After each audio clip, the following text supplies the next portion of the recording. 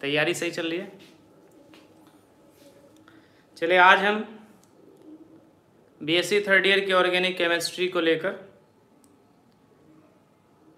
एक टॉपिक यहाँ पर डिस्कस करेंगे, जिस टॉपिक का नाम है पॉलीमर्स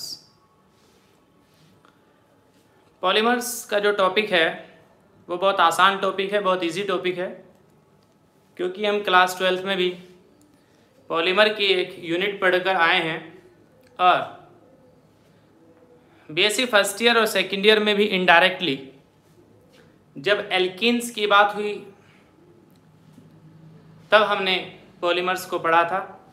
पॉलीथीन हमने पढ़ा पॉलीप्रोपीन हमने पढ़ा पॉलीविनाइल क्लोराइड हमने पढ़ा, जब पीवीसी पढ़ा, हमने जब बीएससी सेकेंड ईयर में फिनॉल पढ़ा तो हमने वहाँ फिनॉल की फॉर्मल्डिहाइड के साथ रिएक्शन कराई।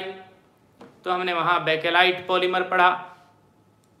मेंस बात यह है कि जो पॉलीमर का टॉपिक है, वो हम इनडायरेक्टली कहीं ना कहीं पढ़ कर आए हैं।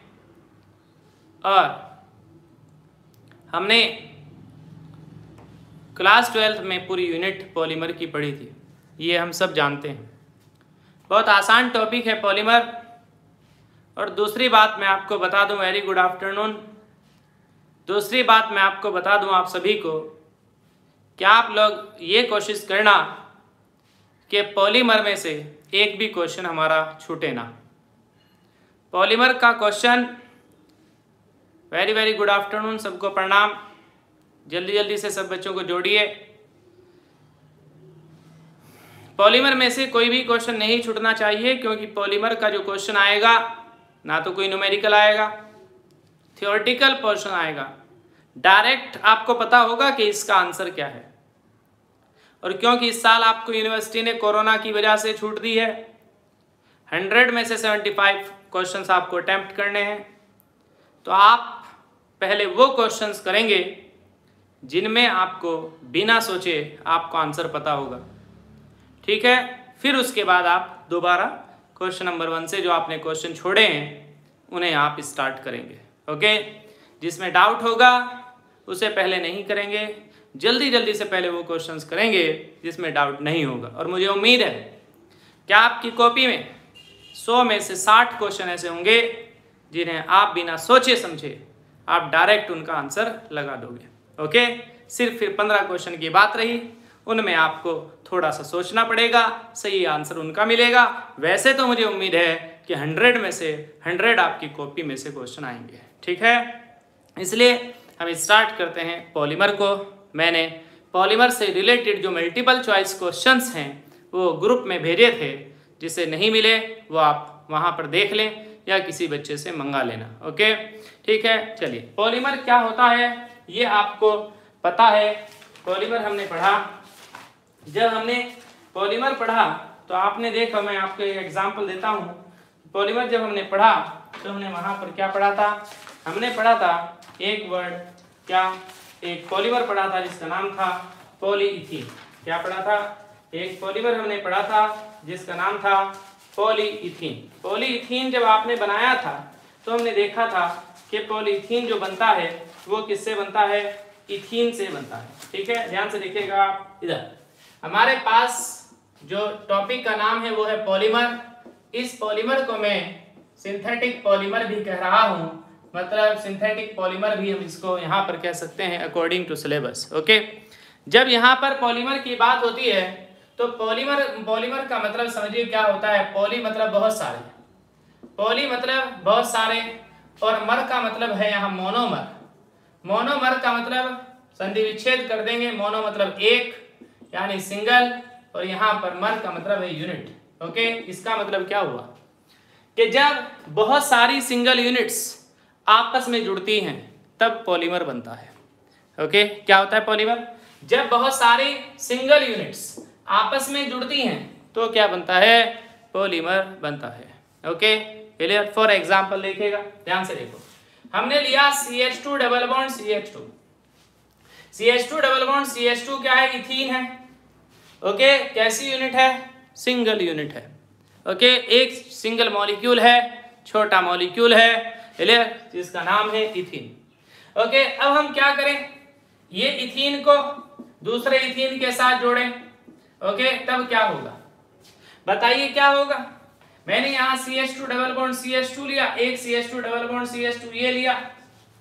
बताइए यहाँ से बॉन्ड ब्रेक किया। एक इलेक्ट्रॉन इस पर, एक इलेक्ट्रॉन इस पर, यहाँ से बॉन्ड ब्रेक किया, एक इलेक्ट्रॉन इस पर, एक इलेक्ट्रॉन इस पर। बताइए, इसका एक इलेक्ट्रॉन इसके एक इलेक्ट्रॉन के साथ बॉन्ड बना लेगा। ओके अब देखो यहाँ पर क्या हुआ। ये दो इथिन मॉलिक्यूल्स आपस में जुड़ गए, लेकिन यहाँ पर देखो, अभी एक इलेक्ट्रॉन बचा है, यहाँ पर भी अभी एक इलेक्ट्रॉन बचा है। मतलब ये क्या कहना चाहता है? इधर जो एक इलेक्ट्रॉन बचा है उधर जो एक इलेक्ट्रॉन बचा है, वो क्या कहना चाहता है? इस बात को समझिए।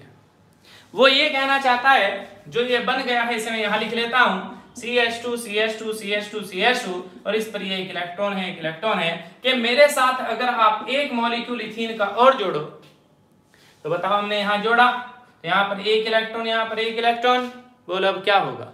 इसका एक इलेक्ट्रॉन इसका एक इलेक्ट्रॉन बॉन्ड बना लेगा ये बॉन्ड बन गया। ओके ती, तीन मॉलिक्यूल्स आपस में जुड़ गए। अगर आपने इधर जोड़ना चाहा, चौथा मॉलिक्यूल इथाइलिन का। बताइए क्या होगा? यहाँ से बॉन्ड ब्रेक एक इलेक्ट्रॉन इधर, एक इलेक्ट्रॉन इधर, इसका एक इलेक्ट्रॉन इसका एक इलेक्ट्रॉन बॉन्ड बन जाएगा। चार मॉलिक्यूल्स ऑफ़ इथिन जुड़ गए। बात समझ आ रही है कहीं लेकिन आपने देखा जब दो जुड़े, तब भी दोनों साइड्स में एक एक इलेक्ट्रॉन बच रहा था, यानी वैलेंसी बच रही थी। जब तीन जुड़े तब भी, और जब चार जुड़े तब भी, इधर भी और इधर भी एक एक इलेक्ट्रॉन बच रहा है। इसका मतलब क्या हुआ? क्या आप यहाँ चार की बजाय चाहे आप पाँच जोड़ लें, चाहे आप छह जोड़ लें, चाहे आप सौ जोड़ लें, चाहे आप एक हज़ार जोड़ लें, क्या होगा? यहाँ पर और यहाँ पर एक एक इलेक्ट्रॉन बचेगा। इसका मतलब क्या हुआ? ये कहता है इधर से कि कोई इथाइलिन मॉलिक्यूल आए और मेरे साथ जुड़ जाए। I am active from here और ये कहता है इधर से कोई इथाइलिन मॉलिक्यूल आए और मेरे साथ जुड़ जाए। I am also active from here इसका मतलब क्या है? कि इधर भी और इधर भी इसके साथ मॉलिक्यूल जुड़ सकते हैं, ये जुड़ सकते हैं कि नहीं जुड़ सकते हैं। ओके? अब ये क्या बना? चलो बताइए। एक, दो, तीन, चार मॉलिक्यूल जुड़े। तो इसे आप क्या बोलेंगे? इसे आप बोलेंगे टेट्रामर। क्यों? क्योंकि सिंगल सिंगल यूनिट्स कितनी जुड़ी? एक, दो, तीन, चार टेट्रामर बोलेंगे। पाँच जोड़ेंगे तो पेंटामर, छह जोड़ेंगे तो हेक्सामर, और बहुत सारे जोड़ देंगे तो क्या बनेगा? पोलीमर। बोले, बात समझ आती है कि नहीं आती? इसलिए हम इसको क्या लिख देंगे देखो? इसलिए हम इसको क्या लिख सकते हैं? ध्यान से देखो, ये C H two double C H two था। एक सिंगल मॉलिक्यूल हमने इसको तोड़ा, एक इलेक्ट्रॉन इधर आया, एक इलेक्ट्रॉन इधर आया। इस एक इलेक्ट्रॉन को हम वैलेंसी से शो कर देंगे, इसे भी हम वैलेंसी से शो कर देंगे और यहाँ पर बॉन्ड लगा देंगे और यहाँ फोर लगा देंगे। मतलब इसका मतलब क्या हुआ? ये फोर क्या रिप्रेजेंट कर रहा है कि यहाँ पर चार इथाइलिन मॉलिक्यूल्स आपस में जुड़े हुए हैं, ये टेट्रामर बना हुआ है। ओके जी, समझ में आती है बात? बताइए जी। पाँच जुड़ेंगे पेंटामर बन जाएगा, पाँच यहाँ पर आ जाएगा। अब बहुत सारे जब जुड़ेंगे तो यहाँ क्या आएगा? बोलो, बहुत सारे जुड़ेंगे मतलब N C S two double bond C S two ले लेता हूँ। जब बहुत सारे जुड़ेंगे, इसका मतलब क्या है कि मैंने इथाइलिन मॉलिक्यूल बहुत सारे ले लिए। तो यहाँ पर क्या होगा? C S two double bond C S two बताइए जी क्या होगा? बॉन्ड तोड़ेंगे। एक इलेक्ट्रॉन यहाँ, एक इलेक्ट्रॉन यहाँ। इस इलेक्ट्रॉन की यहाँ वैलेंसी बन जाएगी। इस इलेक्ट्रॉन की यहाँ वैलेंसी और यहाँ पर ब्रेकेट लगा देंगे, और यहाँ लिख देंगे एन तो ये क्या बन जाएगा? पॉलीमर किसका पॉलीमर बना? इथिन का। तो इसे हम क्या बोलेंगे? पोली इथीन बोलो जी, बात समझ आती है या नहीं? क्या बन गया पोली इथीन बोलो, ये मोनोमर है। ये सिंगल यूनिट है। और ये इथीन क्या है? पॉलीमर है। ओके तो बताइए अब मुझे, यहाँ पर ध्यान से देखिएगा। जब ये सिंगल यूनिट है, बोलिए, और ये बहुत सारी यूनिट्स आपस में मिली हुई हैं तो बताइए मॉलिकुलर वेट किसका ज़्यादा होगा? मोलिकुलर वेट इसका ज़्यादा होगा। यानी इनका मोलिकुलर वेट कैसा होगा? ज़्यादा होगा। हाई मोलिकुलर वेट होगा। और इसका मोलिकुलर वेट कैसा होगा? कम होगा। यानी लो मोलिकुलर वेट होगा। मतलब हम ये भी कह सकते हैं कि कम मोलिकुलर वेट वाले मॉलिक्यूल्स आपस में जुड़ते हैं और हाई मोलिकुलर वेट वाले कंपाउंड्स बनाते हैं, जिन्हें हम पॉलीमर कहते हैं। ओके और क्योंकि मोनोमर से पॉलीमर बना है, अब पॉलीमर बनना है। तो पॉलीमर बना है तो इस रिएक्शन को इस मेथड को हम क्या कह सकते हैं? पॉलीमराइजेशन बहुलकीकरण अभिक्रिया कह सकते हैं। हिंदी में हम क्या कहते हैं? बहुलकीकरण। बोलो और जो पॉलीमर बना है उसे हिंदी में क्या कहते हैं? बहुलक कहते हैं। मतलब बहु मिलती है लक से। ओके तो पॉलीमर का मतलब समझे आप कि जब मोनोमर बहुत सारे मोनोमर्स आपस में जुड़ते हैं तो अब क्या बनता है? हाई मोलिकुलर वेट के कंपाउंड्स बनते हैं, जिन्हें हम पॉलीमर्स कहते हैं। ओके क्लियर ये बात समझ आती है? अब बताओ मुझे, अगर कोई आपसे पूछे, पॉलीथीन का मोनोमर कौन है? तो हम क्या कहेंगे? इथीन कहेंगे। बोलो जी, बात समझ आती है कि नहीं? पॉलीथीन का मोनोमर कौन है? इथीन है। अगर आपसे पूछे, इथीन का पॉलीमर कौन है? पॉलीथीन है। ये क्वेश्चन आएगा। पॉलीमर में ये क्वेश्चन आएगा कि पॉलीइथीन का मोनोमर कौन है? कौन है? इथीन है। कोई दिक्कत है? बोलो जी, बात समझ आती है? चलिए, अब दूसरी बात देखिए ध्यान से कि जो पॉलीमर्स हैं, ये पॉलीमर है, ध्यान से देखना, जो पॉलीमर यहाँ बना, पॉलीइथीन, ये पॉलीइथीन जो पॉलीमर है, समझना आप ये बात, मैं इसको यहाँ लिख देता हूँ अब। पॉलीइथीन जो पॉलीमर है, जो ये बना है हमारे पास ये पॉलीइथीन पॉलीमर दो तरह का होता है। दो तरह का हो सकता है पॉलीइथीन पॉलीमर। एक हो सकता है ये एल पॉलीमर और एक हो सकता है ये H polymer. What is the meaning of L L का मतलब है लो डेंसिटी पॉलीइथीन एल का मतलब है लो डेंसिटी पॉलीइथीन और एच का मीनिंग है high density polyethylene okay high density polyethylene नाम से ही पता चल रहा है। क्या? कि इसकी डेंसिटी क्या होगी? कम होगी। और इसकी डेंसिटी क्या होगी? ज़्यादा होगी। लेकिन दोनों ही क्या है? पॉलीइथीन ये भी पॉलीइथीन है और ये भी पॉलीइथीन है। इसका मतलब क्या हुआ? कि जब ये दोनों ही पॉलीथीन है तो दोनों का ही मोनोमर कौन है? बताइए। दोनों का ही मोनोमर कौन है? दोनों का ही मोनोमर इथीन है। इसका भी मोनोमर क्या है? इथीन है। बोलो, बात समझ आ रही है कि नहीं?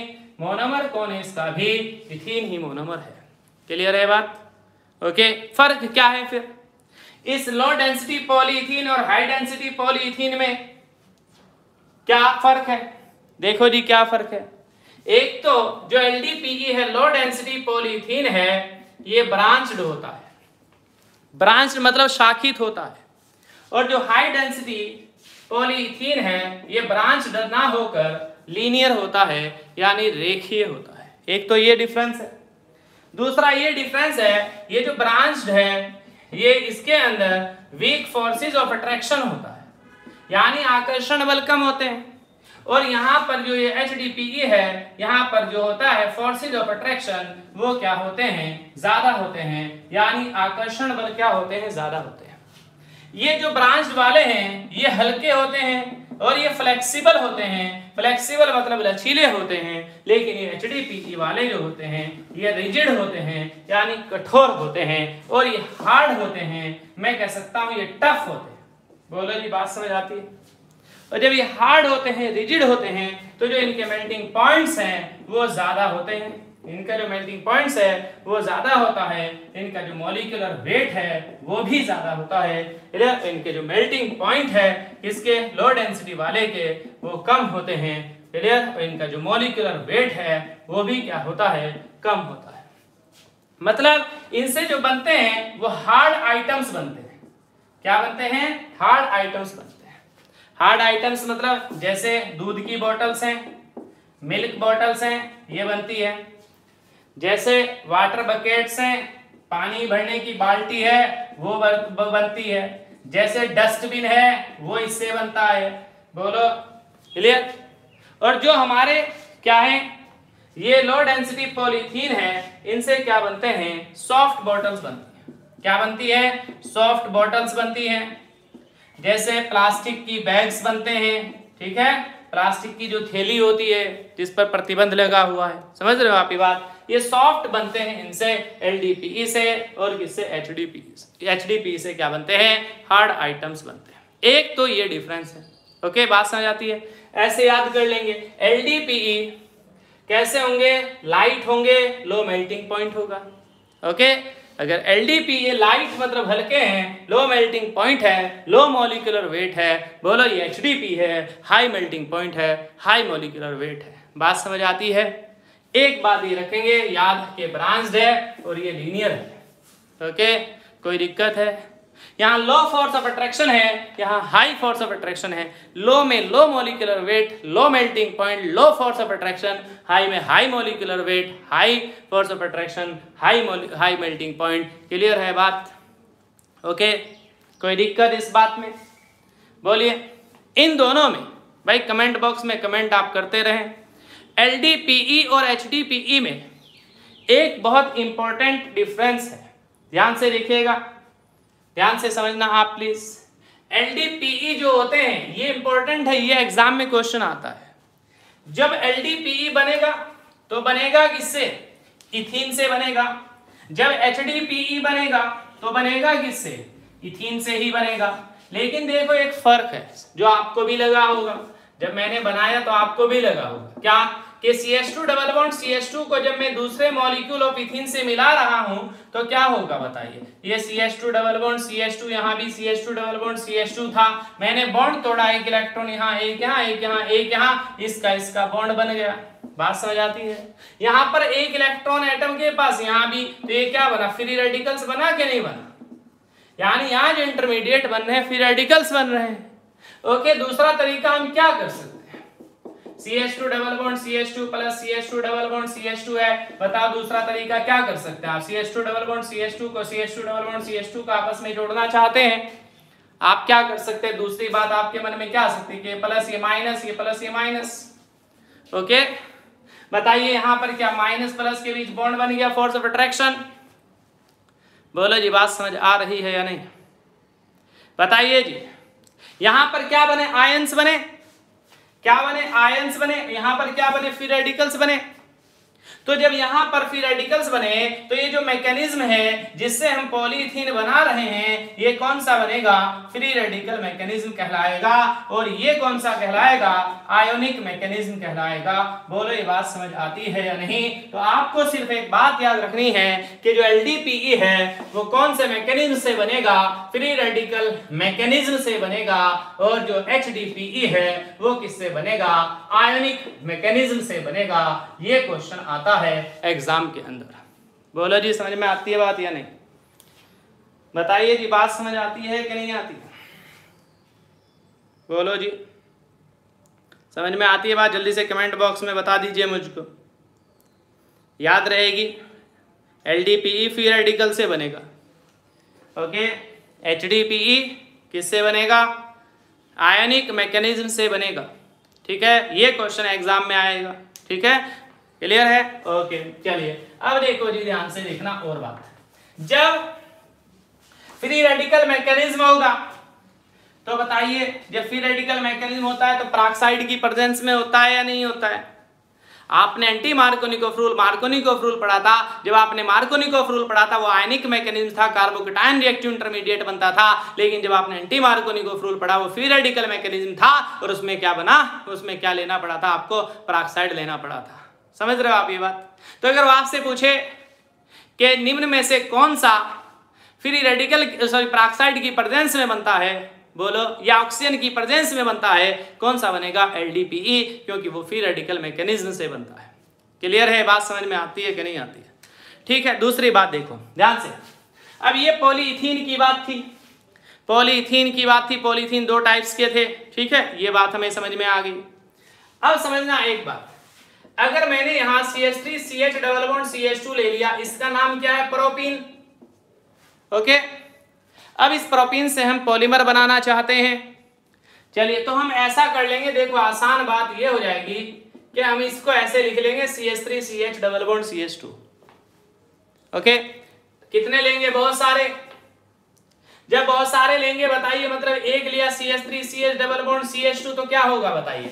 C H three C H double bond C H two को C H three C H double bond C H two के साथ जोड़ना चाहते हैं तो बताइए क्या होगा यहाँ से बॉन्ड तोड़ा, एक इलेक्ट्रॉन इस पर, एक इस पर, यहाँ से बॉन्ड तोड़ा, एक इलेक्ट्रॉन इस पर, एक इस पर, एक इलेक्ट्रॉन इसका, एक इलेक्ट्रॉन इसका, इनके बीच में बॉन्ड बन जाएगा।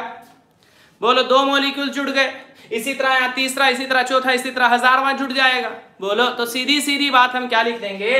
बोलो, जब हम पॉलीमराइजेशन करेंगे, बहुलकीकरण जब हम करेंगे पॉलीमर जब हम बनाएँगे तो क्या होगा? C S three C H double bond C H two को हम यहाँ से तोड़ेंगे एक बॉन्ड इस पर एक इलेक्ट्रॉन एक इलेक्ट्रॉन आएगा। बोलो, कब? जब हम बहुत सारे लेंगे तो बताइए क्या होगा? इसकी एक वैलेंसी इधर, एक वैलेंसी इधर, और यहाँ पर ब्रेकेट लगा देंगे एन लगा देंगे तो ये क्या बन जाएगा? पॉलीप्रोपीन बन जाएगा। बोलो, जी बात समझ आ रही है या नहीं आ रही? बोलो जी। बोलो जी, समझ में आती है बात। क्लियर है? पॉलीप्रोपीन बन जाएगा। कोई दिक्कत? बताइए जी। बोलो जी। ठीक है जी। तो ये पॉलीप्रोपीन बन गया। तो पॉलीप्रोपीन का मोनोमर कौन होगा? ये क्वेश्चन पूछेगा। प्रोपीन होगा। एक बात मैं और बताता चलूँ। ध्यान से देखो। जब हमने पॉली पॉलीइथीन लिखा शॉर्ट में पीई कहते हैं ये दो तरह का था, एक एल था और एक एच था। समझना? जो एल है, ये फिर रेडिकल मैकेनिज्म से बन रहा है। पता है आपको, अभी आपने याद किया। और जो एच है, ये आयोनिक मैकेनिज्म से बन रहा है। ओके? अब सुनो बात। बोर्ड पर तो हम बॉन्ड तोड़े फिर रेडिकल से बनाना शुरू कर दें। या हम बॉन्ड तोड़े प्लस माइनस चार्ज लगा दें आयनिक मैकेनिज्म से शुरू कर दें। लेकिन प्रैक्टिकली कैसे होगा ये? कि कब हम फ्री रेडिकल से बनाएँगे और कब हम आयनिक मैकेन से बनाएँगे? मतलब कब हम एलडीपीई बनाना चाहते हैं और कब हम एचडीपीई बनाना चाहते हैं? भाई, प्रैक्टिकली तो हम ऐसे नहीं तोड़ सकते ना कि बॉन्ड तोड़ा, इस पे एक इलेक्ट्रॉन, इस पे एक इलेक्ट्रॉन रख दिया या प्लस माइनस रख दिया। बोल, बात समझ आ रही है? तो याद रखना, अगर हम चाहते हैं कि हमारा एचडीपीई बने, बहुत इंपॉर्टेंट बात है एग्ज़ाम में आएगी हंड्रेड परसेंट अगर हम चाहते हैं कि हमारा एच बने तो हम क्या चाहेंगे कि हम आयनिक मैकेनिज्म से करें? ओके और जब हम ये चाहेंगे कि हम आयनिक मैकेनिज्म से करें तो याद रखना इस बात को, याद रखना इस बात को इंपॉर्टेंट बात बता रहा हूँ। तो आपको एच बनाने के लिए मतलब आयनिक मैकेनिज्म करने के लिए शो करने के लिए, आपको यहाँ एक कैटलिस्ट डालना पड़ेगा। क्या डालना पड़ेगा? एक कैटलिस्ट डालना पड़ेगा। यानी इथीन की जो रिएक्शन है पॉलीमराइजेशन है, एक कैटलिस्ट की प्रेजेंस में कराना पड़ेगा। और वो बहुत इंपॉर्टेंट कैटलिस्ट है, हर साल एग्ज़ाम में पूछा जाता है, जिस कैटलिस्ट का नाम है जिगलर जिगलर नेटा कैटलिस्ट क्या नाम है उस कैटलिस्ट का? जिगलर नेटा कैटलिस्ट उस कैटलिस्ट का नाम है। बहुत इंपॉर्टेंट क्वेश्चन है, क्या? जिगलर नेटा कैटलिस्ट बोला जी, बात समझ आ रही है? तो अगर वो आपसे पूछे एच किस एच किसकी प्रेजेंस में बनता है? किसकी? जिगलर नेटा कैटलिस्ट की बनेगा। अगर वो कहे जब इथीन का पॉलीमराइजेशन जिगलर नेटा कैटलिस्ट की प्रेजेंस में कराया जाता है तो क्या बनेगा? एच बनेगा। यानी आयनिक मैकेनिज्म कब होगा? जब हम जिगलर नेटा कैटलिस्ट का यूज़ करेंगे। अगर हमने ना किया तो फिर क्या होगा? एल बनेगा। फ्री रेडिकल मैकेनिज्म से रिएक्शन होगी। बोलो जी, बात समझ आ रही है नहीं? अब एक क्वेश्चन ये पूछा जा सकता है कि आयनिक मैकेनिज्म किसकी प्रेजेंस में होता है? ओके? पॉलीमर्स का आयनिक मैकेनिज्म किसकी प्रेजेंस में होता है? जिगलर नेटा कैटलिस्ट की प्रेजेंस में होता है। दूसरा क्वेश्चन ये वो ये पूछ सकता है कि जो ये जिगलर नेटा कैटलिस्ट है, ये होता क्या है? मतलब इसका फॉर्मूला क्या है? इस जिगलर नेटा कैटलिस्ट का फॉर्मूला है TiCl4 प्लस C2H5 का होल थ्राइस Al क्या फॉर्मूला है इसका? TiCl4 प्लस C2H5 का होल थ्राइस Al ये भी याद रखना है 100 परसेंट क्वेश्चन बनेगा। वो पूछेगा which of the following is Ziegler Natta catalyst okay याद रहेगा TiCl4 प्लस C2H5 का होल थ्राइस Al ऐसे भी कह सकता है TiCl4 प्लस ET3Al कभी आप ढूंढो वहाँ ET क्या? ET मतलब इथाइल होता है। बात समझ आ रही है? अच्छा अगर उसने नाम पूछ लिया इसका तो नाम भी लिख दोगे आप। क्या भाई? बोलो क्या? इसका नाम क्या है TiCl4 का? इसका TiCl4 का नाम क्या है? टाइटेनियम Ti का नाम है। चार है Cl तो टेट्राक्लोराइड है। तो इसका नाम क्या हुआ? टाइटेनियम टेट्राक्लोराइड हो गया। ओके अच्छा इसका नाम बोलो क्या हुआ? कितने इथाइल हैं? तीन इथाइल हैं तो ट्राई इथाइल हो गया। और क्या है? मेटल कौन सी? एल्यूमिनियम है। तो ट्राइथाइल एल्यूमिनियम हो गया। और क्या लगा हुआ यहाँ? प्लस तो तो इसका मतलब क्या हो गया? मिक्सचर हो गया। बोलो, और किसका मिक्सचर हो गया? समझे? Mixture of titanium tetrachloride and triethyl aluminium क्या कहलाता है? जिगलर नेटा कैटलिस्ट बोलो जी, बात समझ आ रही है या नहीं? बोलो जी, समझ में आई बात? बोलो titanium tetrachloride plus triethyl aluminium क्या होता है? Ziegler Natta catalyst Ziegler Natta catalyst की प्रेजेंस में कौन बनता है? एचडीपीई मतलब कौन सा मैकेनिज्म होता है? पॉलीमराइजेशन में आयनिक मैकेनिज्म होता है। बोलो, बात समझ आती है या नहीं आती है? आती है, कोई दिक्कत? चलिए, तीसरे पॉलीमर की बात कर रहा हूँ। देखो जी, ध्यान से। अगर हमने क्या लिया? अगर हमने बेंजीन रिंग ली, इसके ऊपर C H double bond C H two लगा दिया मतलब मैं कह सकता हूँ C six H five C H double bond C H two है, ये है। बोलो, क्या नाम है इसका? इसका नाम है फिनाइलिथीन फिनाइलिथीन है, या इसका जनरल नाम स्टाइलिन है स्टाइलिन इंपॉर्टेंट है। बोलो जी, बात समझ आ रही है? क्लियर ये स्टाइलिन है। बताइए, क्या करेंगे? जब हम बहुत सारे स्टाइलिन लेंगे तो बताइए, क्या होगा? बोलो जी, यहाँ पर C H double bond C H two है, क्या करोगे? ये बॉन्ड तोड़ोगे? ओके जब ये बॉन्ड तोड़ा तो इस पर एक इलेक्ट्रॉन एक इलेक्ट्रॉन आया। बोलो, इसके एक इलेक्ट्रॉन इधर, एक इलेक्ट्रॉन इधर लगा दोगे। बोलो यहाँ पर एन लगा दोगे तो इसका नाम क्या बन जाएगा? इसका नाम पॉलीस्टाइलिन बन जाएगा। बोलो, या ये फिनाइलिथीन था तो क्या नाम हो जाएगा? पॉलीफिनाइलिथीन हो जाएगा। तो पॉलीस्टाइलिन का मोनोमर कौन है? स्टाइलिन है। स्टाइलिन का दूसरा नाम क्या है? फिनाइलिथीन है। बात समझ आती है कि नहीं आती है? क्लियर है? यहाँ पर पॉलीमराइजेशन हो जाएगा। कोई दिक्कत है तो बताओ। बोलो जी पॉलीफिनाइलिथीन ओके कोई प्रॉब्लम है? जी? ये जो पॉलीस्टाइरीन है, ये एच से ज़्यादा कठोर होता है, ज़्यादा रिजिड होता है, एचडीपीई से भी ज़्यादा रिजिड होता है ट्रांसपेरेंट होता है। कैसा होता है? ट्रांसपेरेंट होता है और रासायनिक रूप से अक्रियशील होता है, यानी केमिकल इनर्ट होता है। इससे खिलौने बनाते हैं, इससे जो स्पेसिमेन है लैब्स के अंदर, उनके रखने के कंटेनर्स बनाए जाते हैं, जो टीवी की कैबिनेट है बॉडी है टीवी की बॉडी है, वो बनाई जाती है, जो खाना रखने के कंटेनर्स हैं फ़ूड कंटेनर वो इससे बनाए जाते हैं। और जो आपको बहुत प्यारा है, क्या बहुत प्यारा है, क्या कॉस्मेटिक कॉस्मेटिक की बोटल्स इससे बनाई जाती हैं। है ना कॉस्मेटिक से तो आपको बहुत लाड है, वो इससे बनाया जाता है। ठीक है? कोई दिक्कत है जी इसमें? चलिए, अब मैं चौथे पॉलीमर की बात करता हूँ। चौथा पॉलीमर में लेता हूँ। ध्यान से देखिएगा, चौथा पॉलीमर मैंने लिया, समझना आप ये बात चौथा पॉलीमर में क्या ले रहा हूँ? ध्यान से देखिएगा, मैंने लिया C H two double bond C H C L इस कंपाउंड का नाम है विनाइल क्लोराइड क्या नाम है?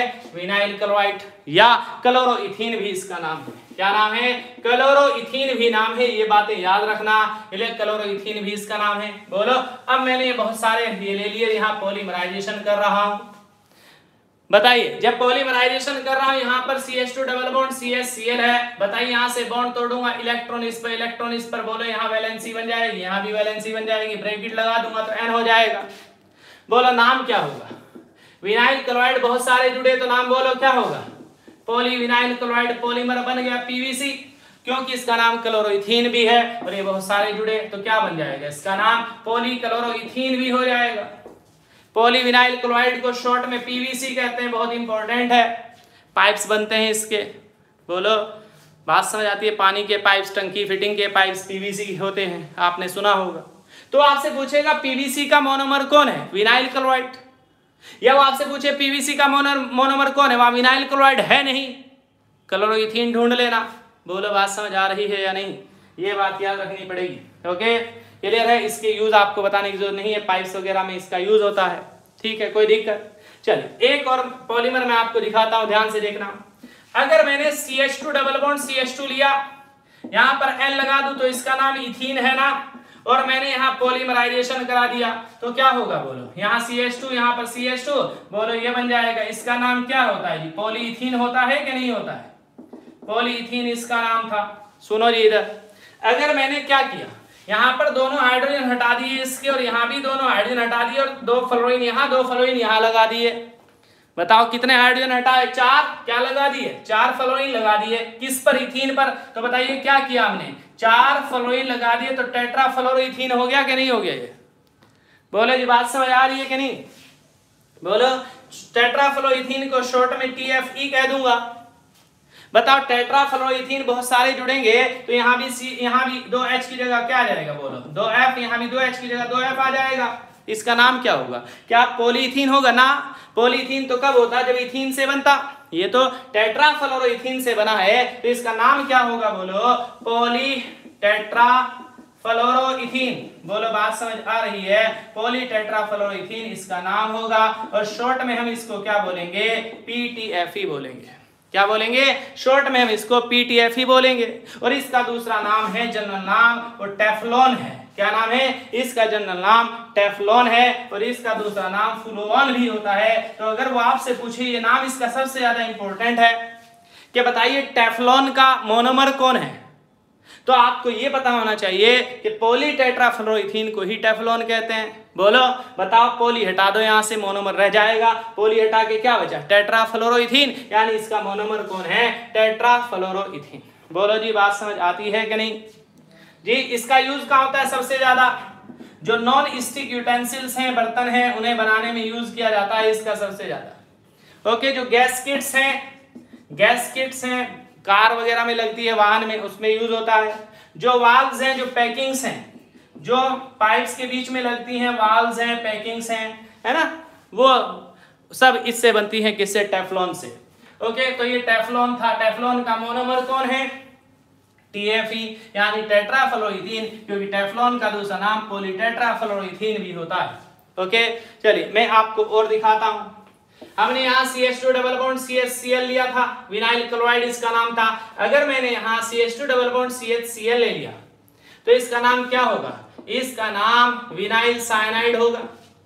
बोलो विनाइल क्लोराइड नहीं होकर विनाइल साइनाइड होगा। बताइए, क्या करेंगे? इसका पॉलीमराइजेशन करेंगे, बहुत सारे ले लेंगे तो क्या होगा? बताओ। C H two double bond C H यहाँ सी एन था। यहाँ से बॉन्ड टूटेगा, एक इलेक्ट्रॉन इस पर, एक इस पर तो वैलेंसी आ जाएगी। यहाँ पर आप जान ही गए अब।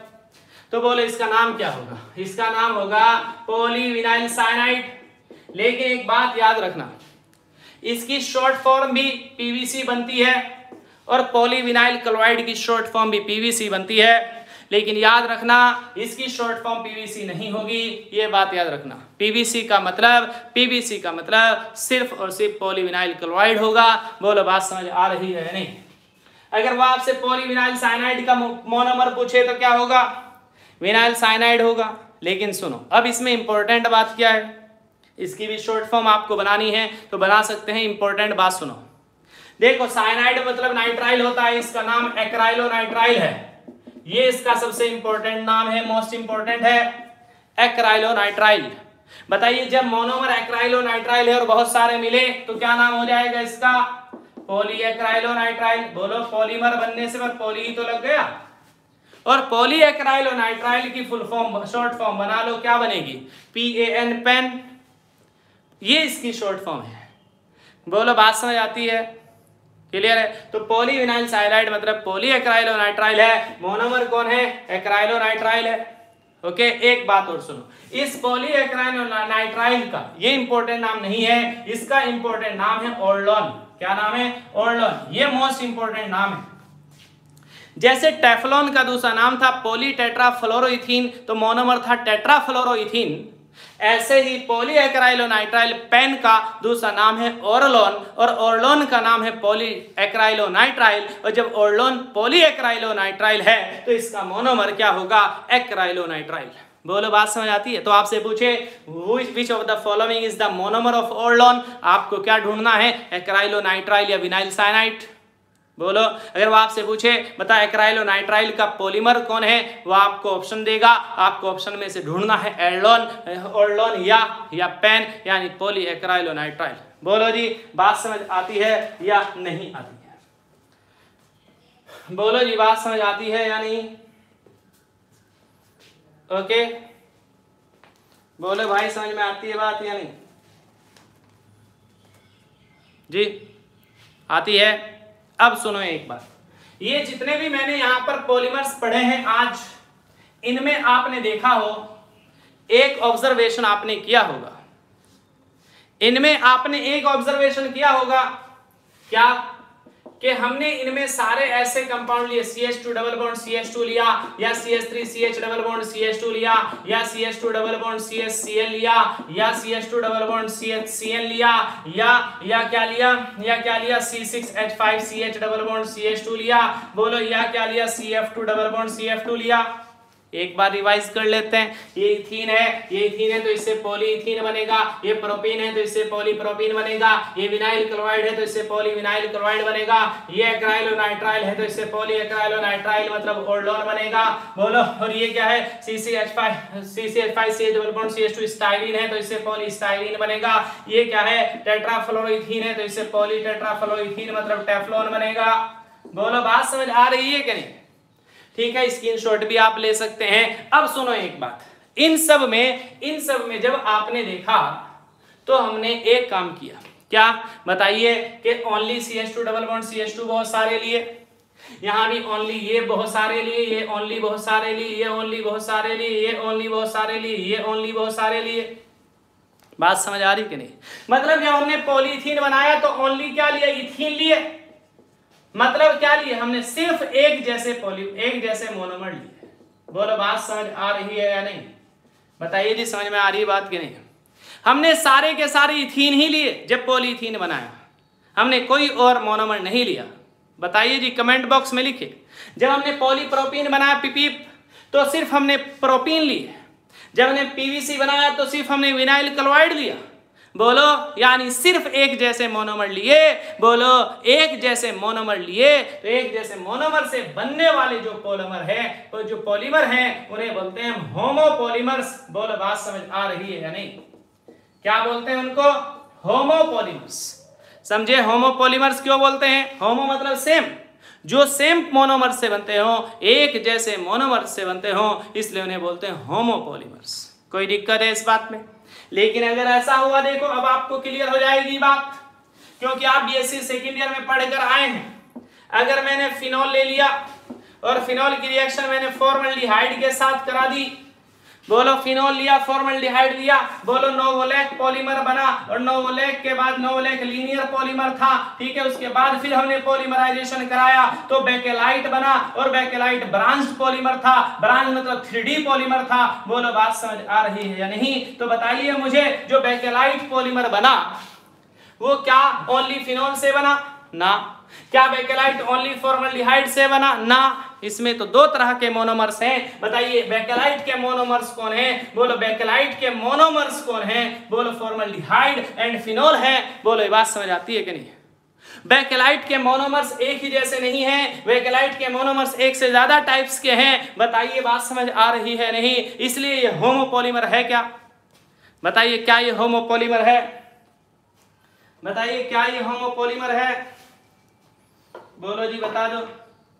क्या बेकेलाइट होमोपोलीमर है। बोलो बेकेलाइट होमोपोलीमर नहीं है तो फिर कैसा है? फिनॉल को क्या चाहिए अगर बेकेलाइट बनाना है? बोलो, किसी की सहायता चाहिए? किसकी? फॉर्मल्डिहाइड की। बात समझ आ रही है?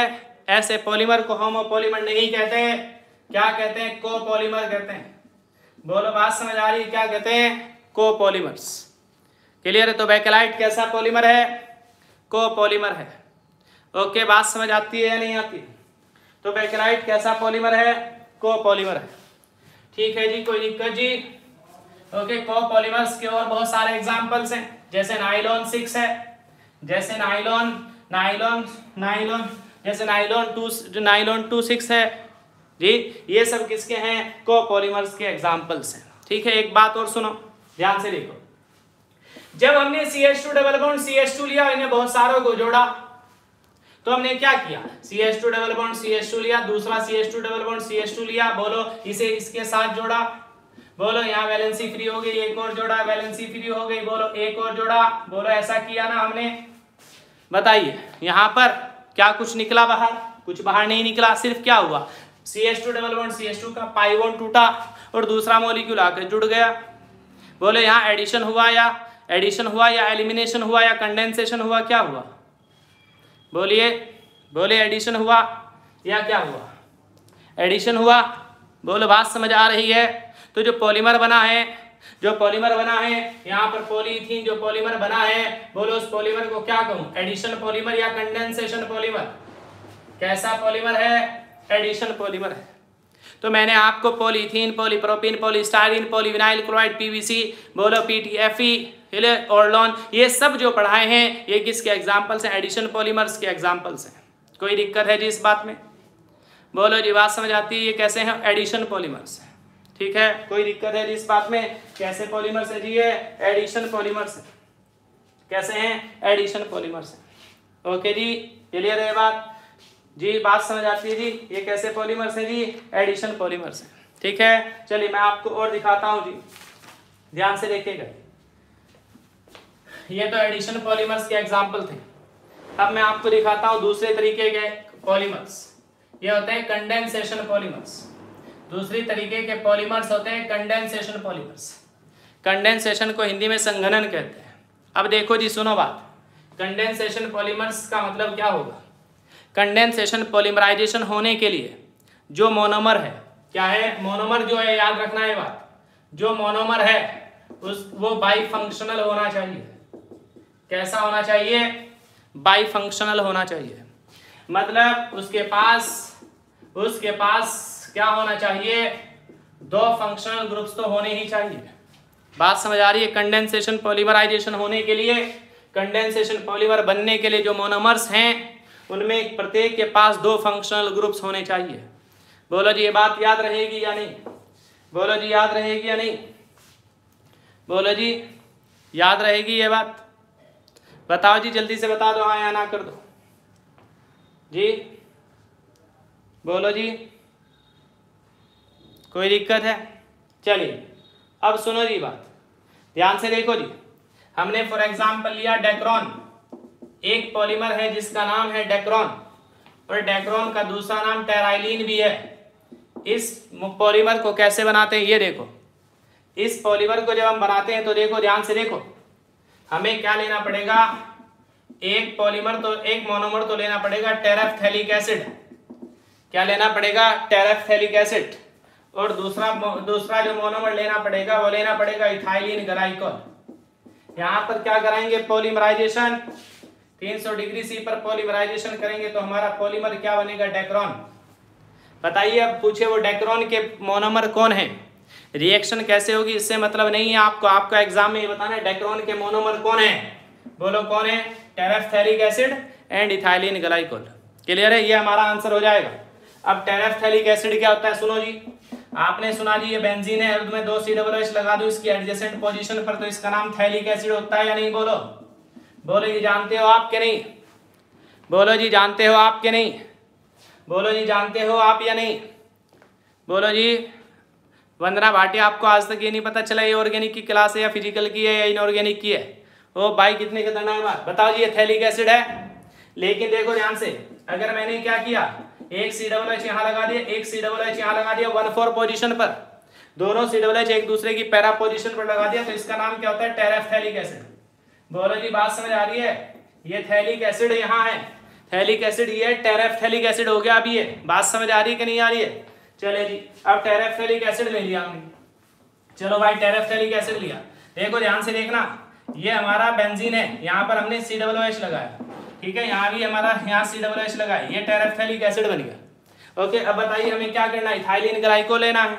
बताइए इथाइलिन ग्लाइकोल क्या होता है? O H C H two C H two O H ये हमारा इथाइलिन ग्लाइकोल होता है। अब सुनो आप ये बात। ये टेरेफ्थेलिक एसिड है, ये टेरेफ्थेलिक एसिड है, ये इथाइलिन ग्लाइकोल है। बताइए, इसके पास दो फंक्शनल ग्रुप है या नहीं है? बोले जी, इसके पास दो फंक्शनल ग्रुप्स हैं कि नहीं बताइए जी, इसके पास दो फंक्शनल ग्रुप्स हैं कि नहीं है? बोलो, और इसके पास भी ओ एच ओ एच दो फंक्शनल ग्रुप्स हैं कि नहीं है? जल्दी बोलो। बताओ जी, हैं? तो ये भी बाई फंक्शनल है और ये भी बाई फंक्शनल है। समझ रहे हो आप ये बात? बोलो, बात समझ आ रही है? अगर हमने C S two double bond C S two लिया इथाइलिन यहाँ पर कहाँ है भाई? बाई फंक्शनल नहीं है ओके तो बताइए, अब क्या होगा? बताइए क्या होगा? यहाँ से एच यहाँ से ओ एच निकलेगा। बोलो जी, जब यहाँ से एच निकलेगा प्लस का इस पर माइनस आएगा, यहाँ से ओ एच निकलेगा माइनस का इस पर प्लस आएगा। बताइए इस प्लस माइनस के बीच बॉन्ड बनेगा कि नहीं बनेगा? बोलो जी, बात समझ आ रही है कि नहीं? बोलो जी, ये ये दो मॉलिक्यूल्स आपस में जुड़ गए। ओके अब बताइए इधर, ये इथाइलिन ग्लाइकोल है। मैं इधर एक टेरेफ्थेलिक एसिड रख दूँगा। तो बताओ टेरेफ्थेलिक एसिड का क्या निकलेगा? बोलो, H प्लस निकलेगा, इसका H माइनस निकलेगा कि नहीं? बोलो तो यहाँ वैलेंसी बना दू कि नहीं बना दू? और इस सी डबल एच का बोलो, इधर रख दूँगा तो H प्लस निकलेगा कि नहीं? यहाँ वैलेंसी बना दू कि नहीं? और यहाँ पर एन लिख दू? बताओ इसका नाम डेक्रोन हो जाएगा। जल्दी बताओ, समझ में आ गई बात या नहीं आ गई? बोलो जी बोलो जी, समझ में आ गई बात या नहीं? कपड़े बनते हैं इसके कपड़े। क्या बनते हैं इसके कपड़े? बोलो जी, समझ में आ रही बात। ओके, अब सुनो बात। अगर इस इथाइलिन ग्लाइकोल के साथ हमने थैलिक एसिड लिया, क्या लिया? Phthalic acid. मतलब टेरेफ थैलिक एसिड ना लेकर थैलिक एसिड लिया। समझ गया ना? Phthalic acid. तो जो हमारा पॉलीमर बनेगा ना, अगर टेरेफ थैलिक एसिड ना लेकर सिर्फ़ थैलिक एसिड लिया तो हमारा जो पॉलीमर बनेगा, उसे गिलिप्टल कहेंगे। क्या कहेंगे? गिलिप्टल। क्या बोलेंगे? गिलिप्टल बोलेंगे। क्या बोलेंगे? गिलिप्टल। ओके? कोई दिक्कत इस बात में? बताओ जी, बात समझ आ रही है नहीं आ रही? जल्दी बता दो भाई। बोलो जी समझ में आ रही बात या नहीं आ रही है? समझ में आ रही बात या नहीं? बताओ जी जल्दी से। जल्दी से समझ में आ रही है कि नहीं जल्दी बता दो। तो कंडेंसेशन पॉलीमर है न, क्या है? डेक्रॉन गिलिप्टन ये उसके एग्ज़ाम्पल हैं। ओके एक बात और सुनो बहुत इंपॉर्टेंट एग्ज़ाम्पल है। Nylon six six nylon six six भी एक बहुत इंपॉर्टेंट एग्ज़ाम्पल है। देखो जी नाइलॉन सिक्स सिक्स का मतलब क्या है? पहली बात ये देखो कि इसके मोनोमर कौन है? एक क्वेश्चन तो ये बनता है कि इसके मोनोमर कौन है? ये इंपॉर्टेंट क्वेश्चन है। देखो जी, इसके इंपॉर्टेंट क्वेश्चन और ये नाइलॉन सिक्स सिक्स इसका नाम क्यों है? इसका इंपॉर्टेंट क्वेश्चन वो आपसे पूछोगा, इसके मोनोमर्स बताओ। तो देखो, ध्यान से देखो, पहला मोनोमर इसका एडीपिक एसिड है। कौन सा एसिड एडीपिक एसिड आपने पढ़ा है बीएससी थर्ड ईयर के अंदर। एक्टिव मिथाइलिन कंपाउंड्स के अंदर। और एक है इसका हेक्सा मिथाइलिन डाइअमीन एक मोनोमर है इसका हेक्सा मिथाइलिन डाइअमीन बात समझ आ रही है? पॉलीमराइजेशन होगा और क्या बनेगा? नाइलॉन सिक्स अब सुनो जी बात। इसका नाम एडीपिक एसिड है। अभी एडीपिक एसिड क्या होता है जी? सुनो। ध्यान से देखो जी, एडीपिक एसिड क्या होता है जी? C H two C H two C double O H C H two C H two C double O H ये होता है जी एडीपिक एसिड। बताइए जी, इस एडीपिक एसिड के अंदर कितने कार्बन है? बोले जी, एडीपिक एसिड के अंदर बोलो कितने कार्बन? एक, दो, तीन, चार, पाँच, छह। छह कार्बन है। बोले एडीपिक एसिड के अंदर छह कार्बन है। बताइए जी, यहाँ hexamethylene diamine methylene C H two होता है, और छह है तो हेक्सा मिथाइलिन हो गया, और डाइएमीन का मतलब NH2 NH2 दो हो गए। बोलो, बात समझ आ रही है कि नहीं? यहाँ बताओ कितने कार्बन है, छह कार्बन है? बोलो जी, समझ के बात? क्योंकि नाइलोन सिक्स सिक्स के मोनोमर जो हैं उसमें पहले मोनोमर में भी छह कार्बन है और दूसरे मोनोमर में भी छह कार्बन है। एडीपिक एसिड में भी छह कार्बन है और एक्सामिथाइलिन डायमीन में भी छह कार्बन है। बोलो, इसलिए हमने क्या बोला? नाइलोन सिक्स सिक्स समझे आप बात? सिक्स सिक्स का मतलब क्या है? बताओ जी जल्दी। रिएक्शन तो मैं करा देता हूँ। चलिए रिएक्शन बहुत आसान है। हमने क्या लिया? हमने यहाँ O H C double O H लिया। यहाँ सी एच टू कितने चार ले लिए। यहाँ सी डबल ओ एच ले लिया। ये क्या हो गया? एडीपिक एसिड बोलो प्लस, बोलो क्या करेंगे? NH2 यहाँ पर क्या CH2 का होल फॉर और यहाँ पर क्या NH2 बताइए जी, कोई दिक्कत जी इस बात में? बताइए क्या होगा? यहाँ से H, यहाँ से OH निकलेगा कि नहीं? बोलो H2O निकलेगा कि नहीं? और यहाँ पर बॉन्ड बन जाएगा। इसी तरह बहुत सारे जुड़ जाएँगे। बताओ ये क्या बन गया? बहुत ये क्या बन जाएगा हमारा? नाइलॉन सिक्स सिक्स एन लगाकर। बताइए समझ आ गई आपको बात? मोनमर आपसे पूछेगा। बताओ नाइलॉन सिक्स इसका नाम क्यों है? ये भी पता चल गया कि नहीं चल गया? बोलो, जल्दी बता दो मुझको। बोले जी भाई, जल्दी बता दीजिए जी। बोलो, भाई, समझ में आ गई बात या नहीं? बोलो, भाई, जल्दी बता दो, समझ में आ गई बात या नहीं? आ गई? अब सुनो, एक बात और यही याद रखनी है इसको। देखो जी, अगर हम हेक्सा मिथाइलिन डायमीन तो सेम लें। अगर हम हेक्सा मिथाइलिन डायमीन तो सेम लें। मतलब छह कार्बन है इसके अंदर, ये हमें पता है। लेकिन अगर हमने यहाँ सीबेसिक एसिड ले लिया सीबेसिक एसिड क्या होता है जी? सुनो। सीबेसिक एसिड क्या होता है जी? सी एच टू का whole eight C double O H C double O H ये सीबेसिक एसिड है। बताइए इसके अंदर कितने कार्बन है? आठ और इग्नोर एक दस। दस कार्बन है। बताइए, समझ आई बात? दो फंक्शनल ग्रुप इसमें है और दो ही फंक्शनल ग्रुप इसमें हेक्सामिथाइलिन डायमीन में। क्लियर ये भी बाई फंक्शनल है, ये भी बाई फंक्शनल कंडेंसेशन पॉलीमर बनाएँगे। बताइए जो नाइलॉन बनेगा वो क्या नाइलॉन सिक्स सिक्स बनेगा? नहीं, वो क्या बनेगा? नाइलॉन सिक्स टेन बनेगा। बोलो, बात समझ आ रही है या नहीं? नाइलॉन सिक्स टेन क्यों बोला इसको? क्योंकि इसके एक मोनोमर में छह कार्बन और एक मोनोमर में दस कार्बन है। बताओ जी, जल्दी से बता दो मुझको। बोलो जी बोलो जी, बात समझ आ रही है या नहीं? बोले, कोई दिक्कत? बोलो जी, बात समझ आती है। अच्छा एक बात और सुनो। एक नाइलॉन और होता है। एक नाइलॉन सिक्स होता है। अब देखो नाइलॉन सिक्स क्यों है इसका नाम? बताए नाइलॉन सिक्स अगर है तो इसमें दो मोनोमर है कि एक मोनोमर है? बताए नाइलॉन सिक्स अगर है तो एक मोनोमर है कि दो मोनोमर है? एक मोनोमर है। बोलो, उसके अंदर कितने कार्बन है छह। बात समझ आ रही है? और उसका नाम है, इसका जो मोनोमर है, बहुत इंपॉर्टेंट है एग्ज़ाम में हंड्रेड परसेंट आएगा क्वेश्चन उसका नाम है कैप्रोलेक्टम। क्या नाम है? कैप्रोलेक्टम। और इस कैप्रोलेक्टम के अंदर छह कार्बन है। ठीक है, उसकी स्ट्रक्चर आपकी कॉपी में बनी हुई है। समझे आप ये बात? बोलो, समझ गए या नहीं? बता दो जी जल्दी। ठीक है? ओके? अब सुनो जी, और बात सुनिए। ध्यान से देखिएगा इधर। इधर जी ध्यान से समझना आप ये बात। इधर। अभी हमने जब कंडेंसेशन पॉलीमर्स पढ़े तो हमने गिलिप्टल लिया। क्या लिया? पॉलीमर गिलिप्टल लिया। और जब हमने गिलिप्टल को बनाया तो हमने क्या किया? टेरेफ्थेलिक एसिड लिया। लिया टेरेफ्थेलिक एसिड। देखो फिर से देखिए। टेरेफ्थेलिक एसिड की रिएक्शन इथाइलिन ग्लाइकोल के साथ कराई। बोलो कराई कि नहीं कराई? जब पॉलीमराइजेशन हुआ, यहाँ से H2O निकला। बोलो निकला। बताओ H2O निकला, ये बताओ कार्बोक्सिलिक एसिड है टेरेफ्थेलिक एसिड और ये अल्कोहल है इथाइलिन ग्लाइकोल है कि नहीं है? बताओ अगर कोई कार्बोक्सिलिक एसिड ये कार्बोक्सिलिक एसिड और ये अल्कोहल बोलो आपस में रिएक्शन करता है, और H2O निकलता है तो बताओ क्या बनता है? R C double bond O O R dash plus H two O बताओ ये बात समझ आ रही है आपको या नहीं? ये कार्बोक्सिलिक एसिड और ये अल्कोहल और एच टू ओ निकला कंडेंसेशन हुआ। बताओ ये जो बना, वो क्या है एस्टर है या नहीं है? बोलो R C double bond O O R dash ester है कि नहीं है? बोले, बात समझ आ रही है आपको, ये एस्टर है कि नहीं है? बोले एस्टर है कि नहीं है? इसका मतलब क्या होगा? कि यहाँ पर जब ये बॉन्ड टूटेगा, ये ओ एच एच निकलेगा, यहाँ पर ये जो बनेगा ये एस्टर होगा और पॉलीमर के अंदर ये एस्टर ये एस्टर बहुत सारे बनेंगे। बोलो, इसलिए मैं इस गिलिप्टाल को, इस तरह के कंडेंसेशन पॉलीमर को क्या बोल दूँ? पॉलीएस्टर्स बोल दूँ या नहीं बोल दूँ? जल्दी बता दो। बोलो, जल्दी से पॉलीएस्टर्स बोल दूँ कि नहीं बोल दूँ? बोलो पॉलीएस्टर्स बोल दूँ कि नहीं बोल दूँ? बता दीजिए भाई पॉलीएस्टर्स बोल दूँ कि नहीं बोल दूँ? बोलो जी पॉलीएस्टर्स बोल दूँ कि नहीं? बोल दूँ? अच्छा फिर सुनो। इसको तो पॉलीएस्टर्स बोल दिया। अब सुनिए जी, जब हमने अभी नाइलॉन सिक्स सिक्स बनाया तो नाइलॉन सिक्स के सिक्स के अंदर आपने देखा, ये सी एच टू का whole six C double C H two का whole four C double O H बोलो, यहाँ भी सी एच टू का whole four C double O H था। और यहाँ पर क्या था? यहाँ पर क्या था? एन एच टू बोलो, और यहाँ पर क्या था? सी एच टू का होल सिक्स और यहाँ भी क्या था? एन एच टू बोलो, था। जब यहाँ से एच यहाँ से ओ एच निकला, बोलो एच टू ओ निकला। बताइए, जब यहाँ से H2O निकला, बताइए बॉन्ड बना कि नहीं बना? और जब ये बॉन्ड बना तो आपने अमीनो एसिड्स के अंदर प्रोटीन्स के अंदर देखा।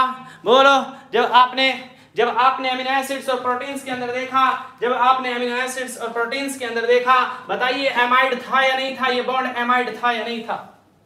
बोले, ये बॉन्ड एमाइड था CO N H bond amide था कि नहीं था? और पॉलीमर्स के अंदर ये बहुत सारे बनेंगे तो बताइए ऐसे पॉलीमर को पॉली एमाइड कह दूँगा कि नहीं कह दूँगा? तो कंडेंसेशन पॉलीमर्स का मतलब दो तरह के हुए पॉलीएस्टर्स एंड पॉलीएमाइड्स तो आपसे पूछे पॉलीएमाइड का एग्जांपल कौन? Nylon six six nylon six ten आपसे पूछे पॉलीएस्टर्स का एग्जांपल कौन? गिलिप्टाल बोलो, बात समझ आ रही है कि नहीं? बोले, कोई दिक्कत इस बात में? बोलो जी, जल्दी बता दो, कोई दिक्कत इस बात में? चलिए, नहीं, अब सुनो। अगर आपने एन फिनोल लिए और उसके साथ फॉर्मल्डिहाइड के साथ रिएक्शन कराई तो बैकेलाइट बनेगा। पहले नोवोलैक पॉलीमर बनेगा और बीएससी सेकेंड में आपने पढ़ा था। ये लीनियर पॉलीमर होता है, बोलो, और फिर बैकेलाइट बनेगा। और बैकेलाइट थ्री पॉलीमर होता है क्रॉस लिंक्ड पॉलीमर होता है ब्रांच पॉलीमर होता है। बोलो, अगर आपसे पूछे क्रॉस लिंक्ड पॉलीमर कौन तो बैकेलाइट बोलो, आपसे पूछे बैकेलाइट के मोनोमर कौन फिनोल एंड फॉर्मल्डिहाइड बैकेलाइट कैसा? कोपॉलीमर बात समझ आ रही है। अच्छा एक बात और बता दो। ध्यान से देखिएगा। ये जब हमने बैकेलाइट बनाया, ये जब हमने बैकेलाइट बनाया तो इसमें फिनोल और फॉर्मल्डिहाइड लिए कि नहीं लिए? बताओ मुझे, इसके अंदर फिनोल एंड फॉर्मल्डिहाइड लिए या नहीं लिए? बोलो, फिनोल एंड फॉर्मल्डिहाइड लिए कि नहीं लिए? जल्दी बताओ हाँ या ना? फिनोल एंड फॉर्मल्डिहाइड लिए कि नहीं लिए? बोलो जल्दी। जल्दी बोलो, फिनोल एंड फॉर्मल्डिहाइड लिए कि नहीं लिए मोनोमर्स? बताओ जी, फिनोल एंड फॉर्मल्डिहाइड लिए मोनोमर्स या नहीं? बोलो जी, लिए? इसलिए मैं इसको कह कह रहा हूँ फिनोल फॉर्मल्डिहाइड रेजिन बात समझ आ रही है क्या नहीं? क्या बोल रहा हूँ? फिनोल फॉर्मल्डिहाइड रेजिन क्या फिनोल फॉर्मल्डिहाइड रेजिन लेकिन अगर मैंने किसी में, अगर मैंने किसी पॉलीमर को बनाने के लिए यूरिया एंड फॉर्मल्डिहाइड लिया, क्या मैं इसको फिनोल फॉर्मल्डिहाइड रेजिन बोल दूँगा? नहीं, उससे जो पॉलीमर बनेगा, उसको मैं क्या बोलूँगा? यूरिया फॉर्मल्डिहाइड रेजिन बोलूँगा। बोलो, बात समझ आ रही है या नहीं? यूरिया फॉर्मल्डिहाइड रेजिन बोलूँगा। बोलो जी, समझ में आती है बात? क्लियर अच्छा आप देखो। जो बेकेलाइट पॉलीमर है, इसका नेचर कैसा है, सुनो। अगर हमने इसको हीट कर दिया, अगर हमने इस बेकेलाइट पॉलीमर को हीट किया, अगर हमने इस बेकेलाइट पॉलीमर को हीट किया तो देखो ये हीट करके, ये हीट करने पर कैसा हो जाएगा? हार्ड हो जाएगा। हार्ड तो हो जाएगा, लेकिन कूल करने पर, वापस कूल करने पर सॉफ्ट नहीं होगा। कैसा नेचर है बेकेलाइट का? हीट करेंगे हार्ड हो जाएगा। हार्ड हो जाएगा बट कूल करने पर, ठंडा करने पर वापस सॉफ्ट नहीं होगा। बोलो, क्या करने पर हार्ड हुआ? क्या करने पर हार्ड हुआ? हीट करने पर हीट को बोले thermo thermal means heat temperature बोलो हीट करने पर हार्ड हो गया सेट हो गया। अपनी जगह सेट हो गया थर्मोसेटिंग पॉलीमर है। कैसा पॉलीमर है? थर्मोसेटिंग पॉलीमर है। बात समझ आ रही है? तो बैकेलाइट कैसा है? थर्मोसेटिंग पॉलीमर है। लेकिन अगर आपने नाइलॉन सिक्स सिक्स लिया, आपने नाइलॉन सिक्स सिक्स लिया तो सुनो, जब हम इसे हीट करेंगे तो ये सॉफ्ट हो जाएगा, सॉफ्ट हो जाएगा, और जब हम इसको कूल करेंगे तो ये हार्ड हो जाएगा। बात समझ आ रही है? हीट करने पर सॉफ्ट हुआ और फिर कूल करने पर हार्ड हुआ। बोलो, ऐसा नेचर किसका होता है? ऐसा नेचर प्लास्टिक का होता है। बोलो, आप जानते हैं, ऐसे पॉलीमर को थर्मोप्लास्टिक पॉलीमर कहेंगे। ओके, क्लियर है? तो ये थर्मोप्लास्टिक है।